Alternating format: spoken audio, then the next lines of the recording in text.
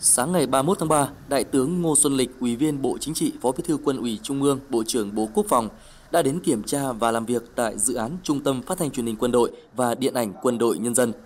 Cùng đi có các đồng chí Thượng tướng Lương Cường, Bí thư Trung ương Đảng, Ủy viên Thường vụ Quân ủy Trung ương, Chủ nhiệm Tổng cục Chính trị, Trung tướng Lê Hiền Vân, Phó Chủ nhiệm Tổng cục Chính trị và lãnh đạo các cơ quan chức năng Bộ Quốc phòng. Dự án Trung tâm Phát thanh Truyền hình Quân đội được khởi công từ tháng 2 năm 2016 trên khu đất có diện tích 5.940 m2, gồm 22 tầng nổi và 3 tầng hầm, tại địa chỉ 165 xã Đàn, Nam Đồng, Đống Đa, Hà Nội. Báo cáo tại buổi làm việc, Đại tá Phạm Nghĩa Tình, Cục trưởng Cục Hậu Cần cho biết, dự án Trung tâm Phát thanh Truyền hình Quân đội đã đảm bảo đầy đủ, chặt chẽ theo tiến độ triển khai dự án, đúng quy định của nhà nước và Bộ Quốc phòng. Các hạng mục công trình đã được thi công theo đúng hồ sơ thiết kế được duyệt, đảm bảo chất lượng, tiến độ và an toàn tuyệt đối về mọi mặt – dự kiến tổ chức nghiệm thu bàn giao trong tháng 12 năm 2018 theo đúng kế hoạch của Bộ Giao. Thay mặt lãnh đạo Tổng cục Chính trị, Thượng tướng Lương Cường khẳng định sẽ tiếp tục chỉ đạo quyết liệt, chặt chẽ, đảm bảo công trình hoàn thành đúng tiến độ, đảm bảo chất lượng và an toàn tuyệt đối, đồng thời giữ mối quan hệ tốt với cấp ủy, chính quyền địa phương. Thay mặt Quân ủy Trung ương lãnh đạo Bộ Quốc phòng, Bộ trưởng Ngô Xuân Lịch biểu dương việc triển khai dự án Trung tâm Phát thanh Truyền hình Quân đội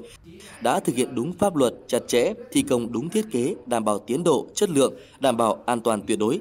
Tổng cục Chính trị, đơn vị chủ đầu tư và ban quản lý dự án đã quán triệt và thực hiện nghiêm túc đúng quy trình, đảm bảo nguyên tắc từ công tác đấu thầu đến triển khai theo kế hoạch. Các đồng chí lãnh đạo Tổng cục Chính trị đã thể hiện trách nhiệm, quyết liệt, triển khai kiểm tra đôn đốc, có những quyết sách nghiêm túc, các bên liên quan trong quá trình triển khai thực hiện đã chủ động phối hợp nhịp nhàng, kịp thời giải quyết những phát sinh, không để xảy ra tình trạng mất an ninh, an toàn. Làm tốt công tác giải thích, tuyên truyền với nhân dân và phối hợp với chính quyền địa phương từ thành phố đến cơ sở giải quyết ổn định tình hình.